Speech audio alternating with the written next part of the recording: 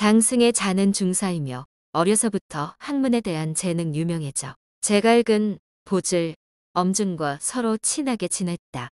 손권이 표기 장군이 되자 서조연으로 불려졌고 나가서는 장사 서부도의가 되었다. 평산적을 토벌하고 정병 1만 5천 명을 얻었다. 후에 유수도도 분이 장군이 되었고 도양후에 봉해졌으며 부국 5천 명을 거느렸다.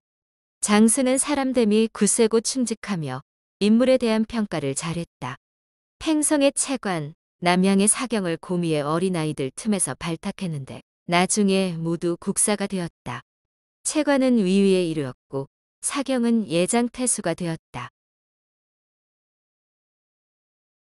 오록에 이르길 채관에 자는 문덕이며 내외의 관직을 역임하고 당세에 밝고 곱게 hen달하였다. 후에 위위영 중서령이 되고 유후에 봉해졌다. 두 아들은 채조와 채계이다.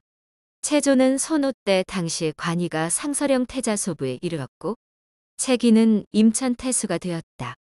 사경에 관한 일은 손등전에 보인다. 또한 제갈각의 나이가 어렸을 때 많은 사람들이 그 빼어난 재주를 기이하게 여겼는데 장승은 원손이 제갈씨의 재앙을 가져올 자라 하였다. 학업을 닦아 정진하는 데 부지런하고 사물의 구별에 독실하여 물은 많은 학파를 접해 집안을 일으켜 못 세우는 일이 없었다. 나이 67세, 저고 7년에 죽었는데 시호를 정우라 했다. 아들 장진이 후사를 이었다. 이전에 장승의 아내를 잃자 장소가 여러 제갈근의 여식 중에서 골라 삼으려 했고 장승 또한 서로 좋아하는 감정을 있었으나 일이 어려워지자 손권이 이를 듣고 건유해 마침내 결혼하게 되었다. 신송지가 보건대 장승과 제갈근은 같이 저고 연간에 죽었기에 장승의 나이를 헤아려 보면 제갈근보다 4살 적을 뿐이다.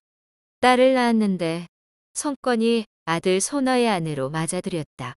손권이 여러 차례 소나에게 영을 내려 장승에 대한 공경을 닦으라 하자 아들과 사위의 예를 갖추었다. 제갈각에 주살될 때 같이 죽었다.